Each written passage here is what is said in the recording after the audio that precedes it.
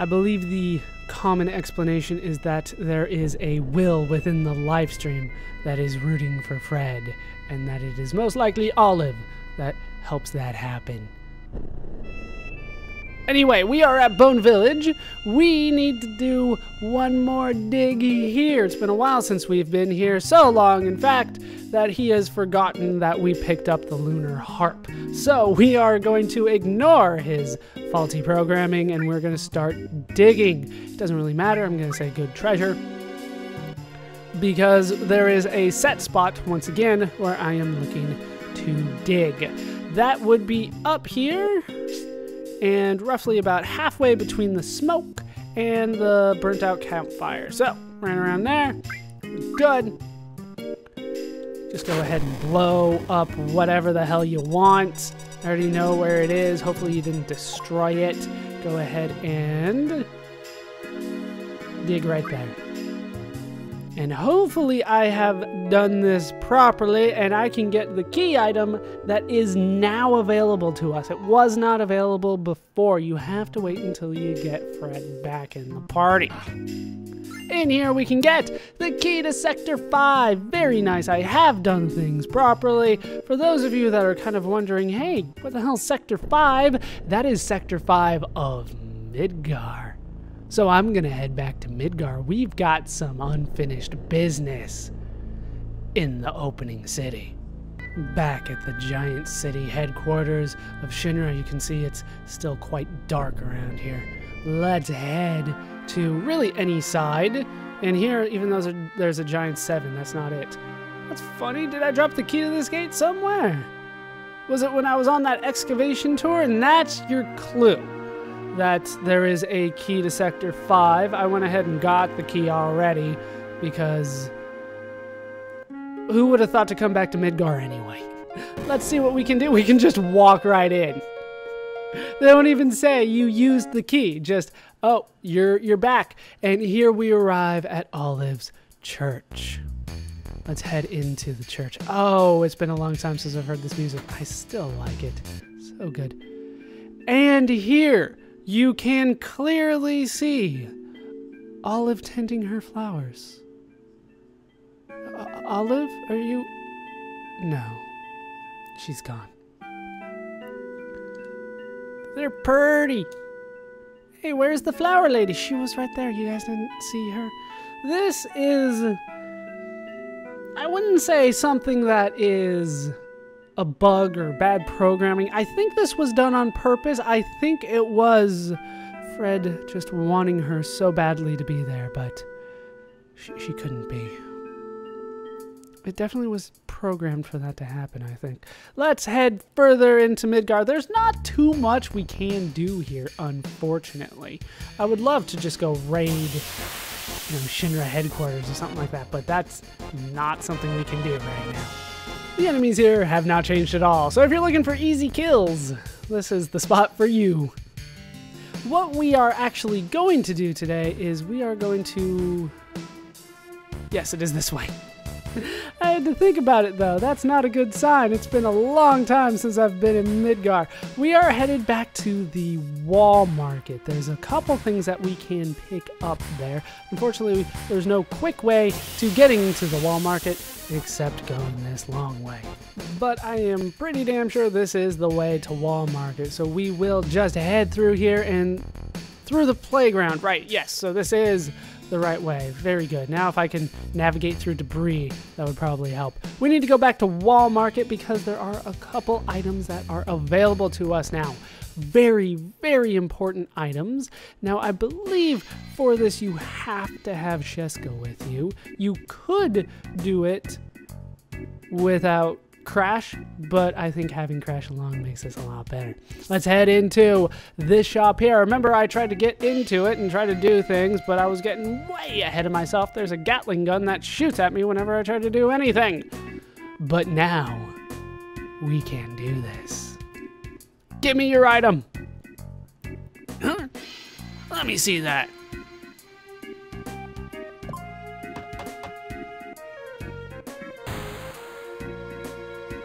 Should work now. Go on, try and use it now.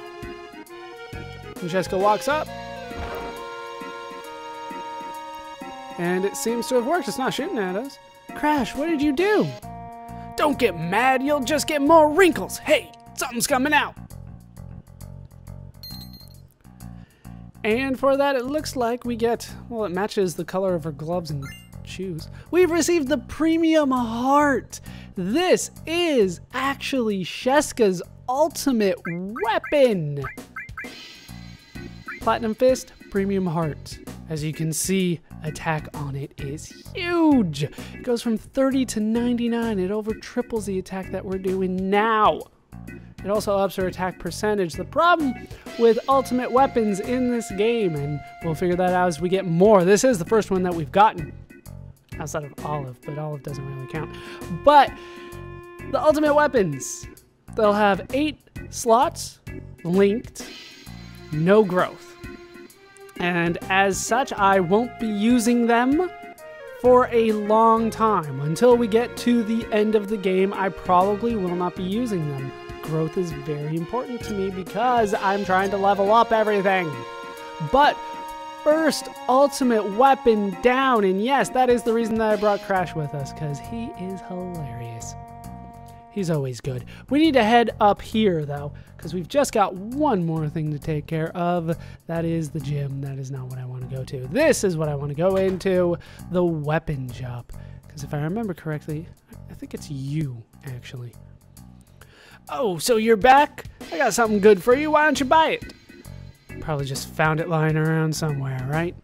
I'll admit that I found it, but you may never be able to get another one like it again. He is absolutely right. How about 129,000 gil for it? What kind of price is that? It's not really a fair price, but I'm going to go ahead and go for it anyway. All right, I'll buy it. Hey, much obliged. You'll never regret it. And we get a sneak glove for damn near all of my money. The sneak glove is an accessory. So, once again, probably won't be... Actually, this one I will be using. I'll be using this one quite a bit. Where is it? Sneak Glove, there it is, way down at the bottom. It increases your stealing rate, and considering how much frustration stealing has done for me, except for Ultimate Weapon where I happen to get that curse ring, I might equip this every time I need to steal something. It's just that good. And I hate to say it, but we are actually done here in Midgar. So, I'm going to run out of here, pretty much going back the exact same way that we came in, and I will meet you at our next destination. And our final destination on this small side quest spree is back to Nibelheim. Now you might be thinking maybe there's something important plot-wise that happens here. Not really. Nothing has really changed. Of course, the people of Nibelheim aren't happy to have Fred back. They barely remember him. It sounds like he wasn't in Nibelheim very long as a kid. Let's head up to Sheska's room, though. And if I can manage it, thank you, I will be playing the piano. Now, how did this go? I did indeed forget. Because I am terrible.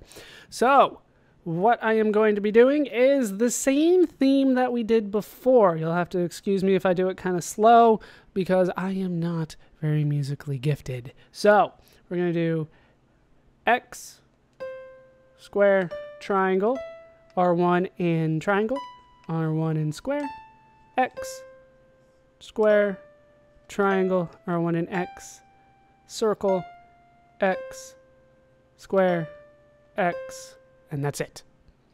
I've heard this melody somewhere before. Probably would have helped if I did it up to speed. I managed to play well. No, I didn't. That was terrible. But I have the sheet music for that song. Huh? Wait a minute. There's something inside the music sheet. Sheska, what's happened to our town? Was it all an illusion or just a dream?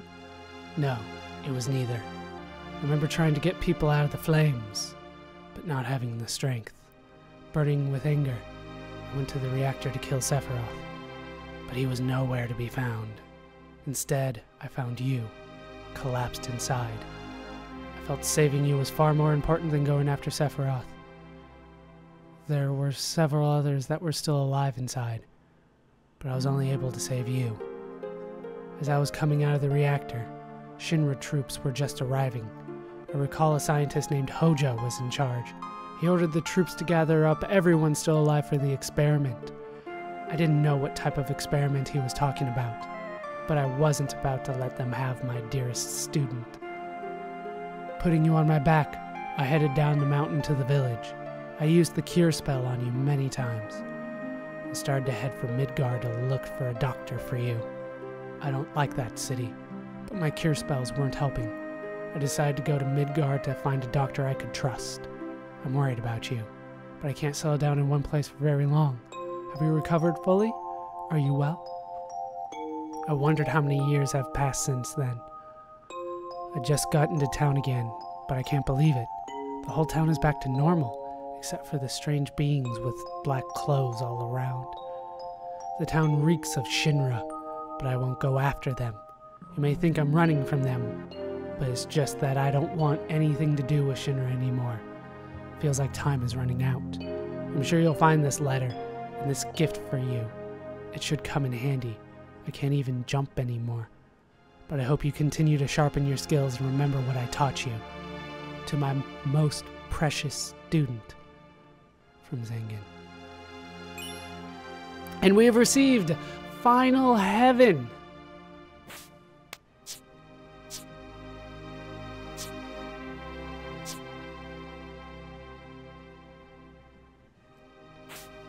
And she was practicing it over there, I guess. This is Sheska's level 4 limit break. It should be at the bottom here. It is. Very nice. Learn limit skill, final heaven for Sheska. We will learn that for her. We are getting to the point where everybody's starting to get their level 4 limit break items, and I have not done enough in order to allow them to learn it. So we'll probably have to level everybody up at once and try to get them all the skills at the same time. There is one more thing, well, one more thing. There is one more giant side quest that I could get started right now. I am not going to be doing that. The gold saucer has reopened, which means that I could start chocobo breeding. I am not going to be doing that though. That is not something that I am willing to do at this point. You, if you do it though, you can get quite powerful things. We'll just go with things. I won't spoil it too much, but if you do that now, you can get incredibly powerful things pretty early in the game, but it's going to require so much work from you at this point that you might not think it's worth it. So instead, I am going to be putting that off for most likely just bonus videos. I might have to get some mm, low level bred chocobos, if that makes sense. For other things like uh, doing the enemy skills and things like that, but the the end game of chocobo breeding, I am putting that off for bonus videos. With that said, that is going to do it for these parts of Let's Play Final Fantasy VII. I'm joined as always by my reunited squad of Fred, Sheska, and Crash. I've been Ballerscuba. Hope you guys have enjoyed these parts. Hope you laughed. Hope you learned. Hope to see you next time. Thanks for watching.